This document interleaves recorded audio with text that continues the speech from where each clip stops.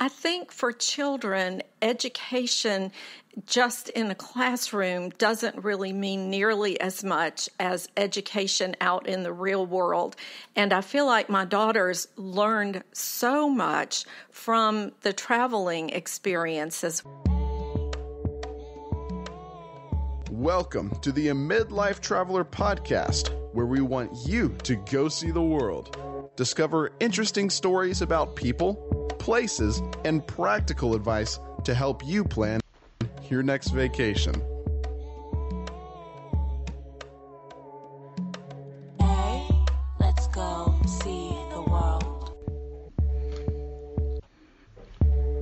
Hey everyone, it's Laura from Midlife Traveler Podcast. Thanks for joining us today. We have a new episode in our Women Travel series where we are discovering and sharing the travel stories, experiences, and advice from women who travel. The first episode that we had in this series featured Rachel of racheltravels.com. And today we have kind of a, a bonus episode in that you get to hear and discover two women travelers and hear their travel stories. So, who you are going to hear from today is Cindy Loe from One Perfect Day in Travel. And Cindy is a guidebook writer, a travel blogger, and travel podcaster who is also a friend of mine. And this is Cindy interviewing me for one of her podcast episodes where we end up talking about what travel means in our lives as women who have had careers and had to find ways to fit in travel around vacation time. We talk about what travel has meant to our families, and we share some of our favorite family travel experience stories, in addition to um, the end where we talk about some things we'd like to do next, such as revisiting a place we've been to before but experiencing it in a whole new way. So, for the first question, how do you make time for travel and in your busy life? I am so thrilled to be sitting here with you live having this conversation. I love traveling and world exploration, and I love chatting with other women who also love travel and world exploration. So, very excited. So, how do I make time and find the money? Um, that's hard. Yeah. It's not easy for me. So I have a full time career. I have a house. I've got dogs. I've got a family. I have all these responsibilities. But I very much value experiences over things. And my family made a commitment years ago when my son was a teenager to value more shared experiences over things.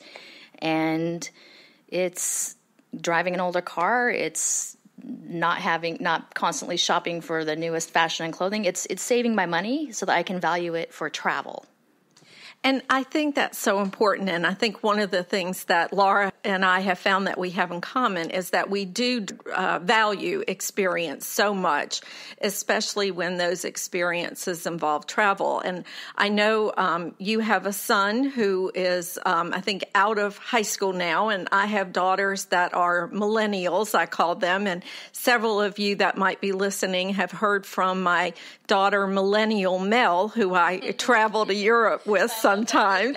And Millennial Mel loves to chat on the podcast when she can. But um, as we have done that, and as I've looked back over the years, I know one of the things that I've really been um, thankful that I gave up some things to have some experiences for is the experience that I've been able to share with my daughters as they were growing up. How about how has that been for you and your family? You know, I, I paused before I answered because I just got goosebumps when I, I thought about that because it actually has been probably one of the absolute best things for my family ever.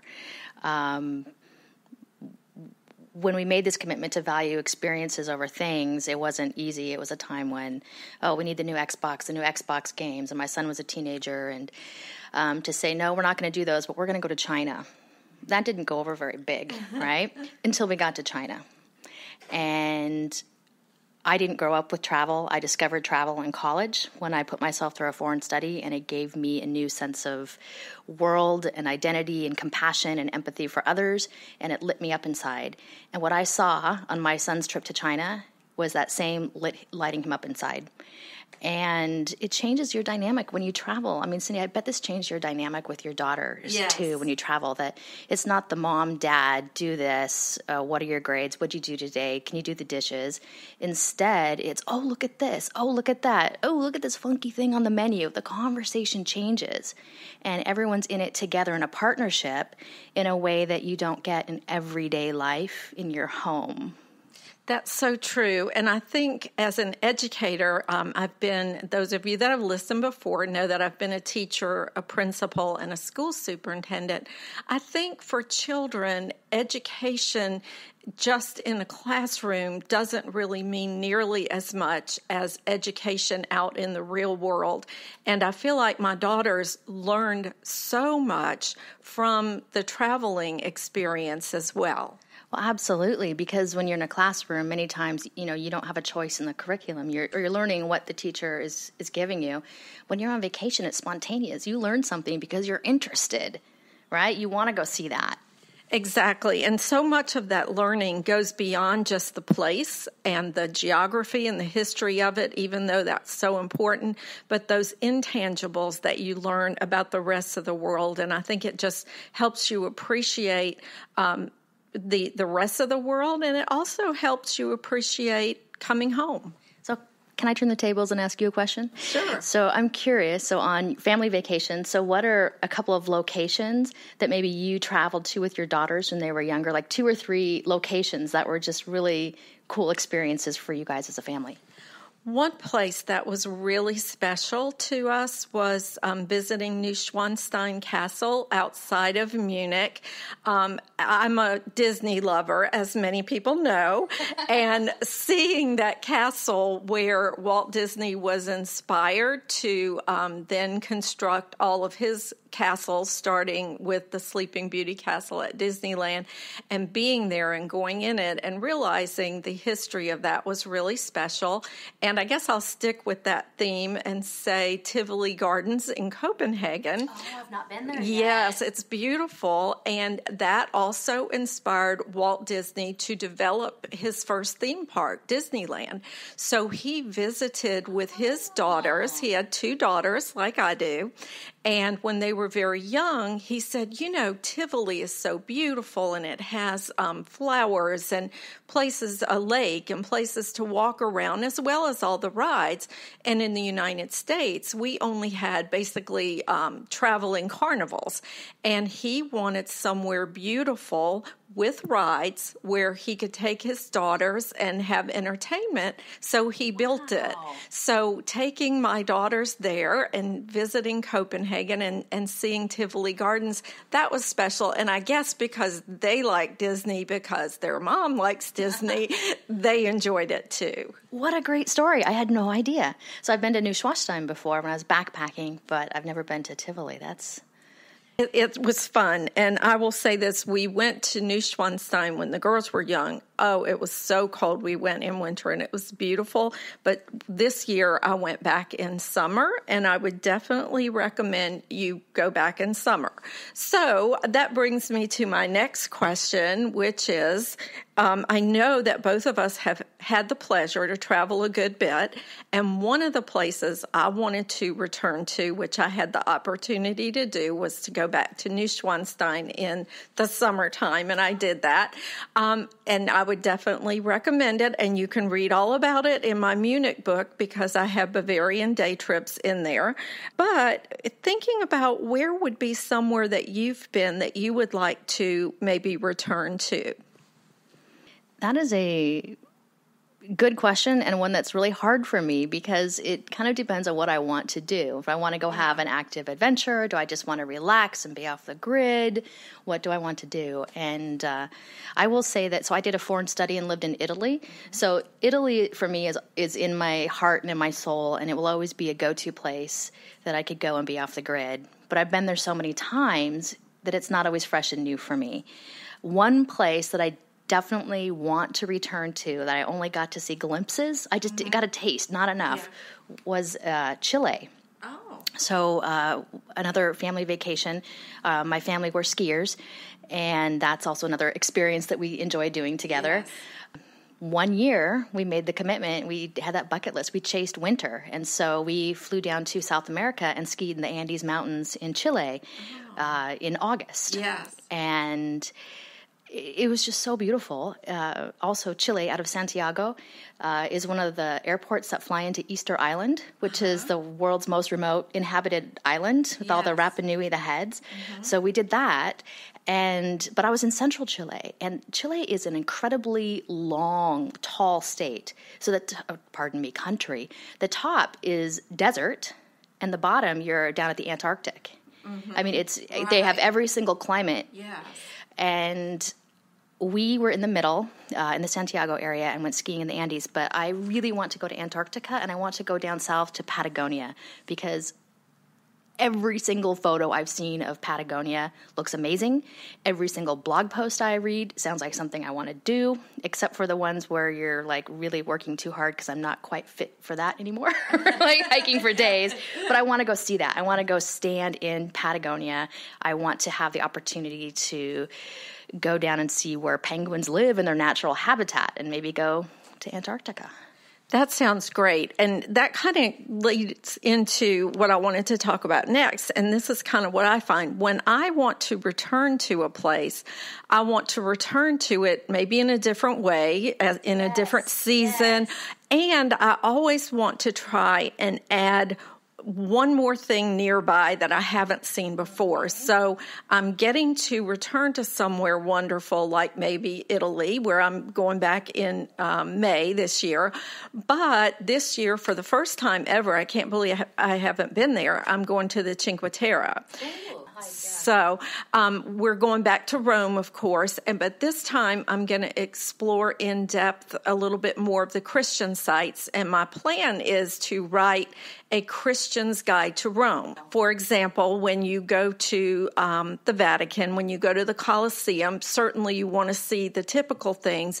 But what are the things, for example, in the Colosseum?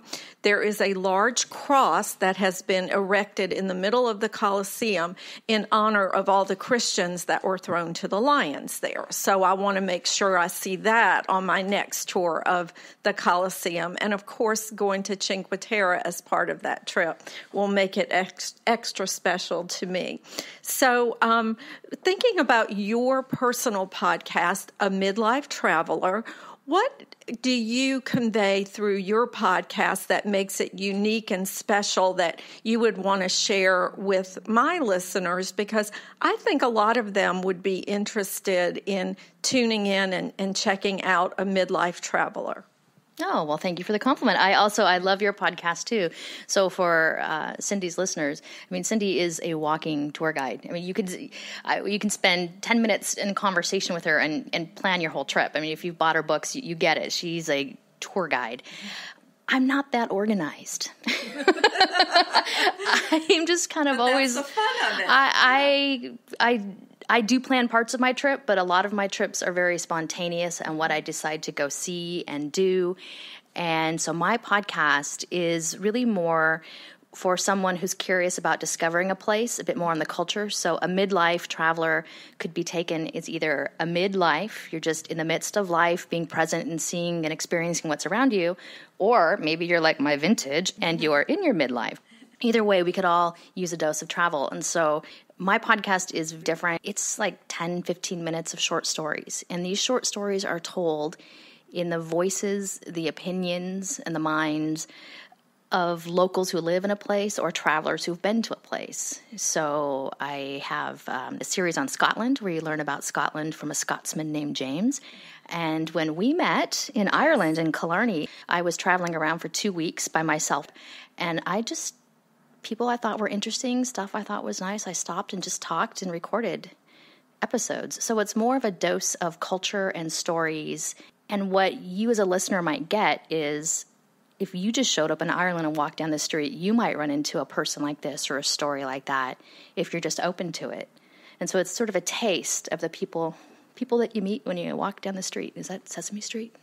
I love it. And I've really enjoyed listening to it too, because it really does give you a flair for the people, the places that you have seen. And um, it's, it's a great introduction and it's a great way of going deeper into the culture of the people who live there, work there, or who have, like us, have, have traveled there and have really enjoyed it.